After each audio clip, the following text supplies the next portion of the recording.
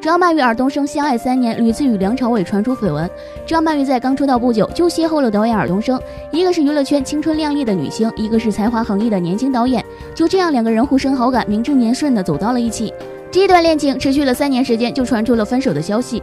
至于分手的原因，外界纷纷猜测。一些网友认为，导演尔冬升大男子主义，让女神张曼玉无法忍受。这种说法有依据可循。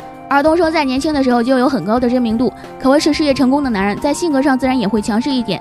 或许是尔冬升的这种脾性，让张曼玉爱得极其卑微，也逐渐失去了自我，所以两个人走到了分道扬镳的地步。也有网友认为是两个人聚多离少，感情变淡。娱乐圈的很多明星导演都是这样的。张曼玉和尔冬升为了自己的事业，难免会在外地拍戏，两个人长期不在一起，感情就会走到终点。后来的张曼玉与影帝梁朝伟经常在一起搭戏，成为了荧幕上的情侣。不仅如此，张曼玉、梁朝伟、刘嘉玲三个人还经常在一起同台。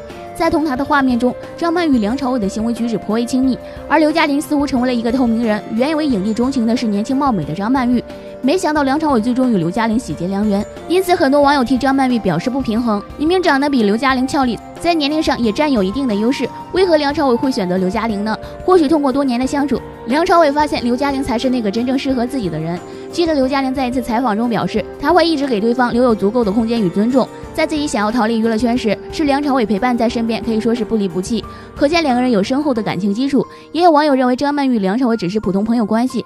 如果绯闻是真的，不会每次都是三个人一起同台，这是一件多么尴尬的事情。不过现在梁朝伟与刘嘉玲也生活得很幸福，说明这是一段正确的婚姻。而张曼玉年满五十周岁，如今还是孤身一人的状态。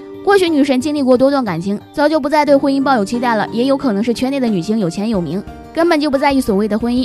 张曼玉出道多年，积攒下不少的财产，足以让她潇洒快乐的度过一生，这也是一件幸福的事情。对此，各位网友们如何看待呢？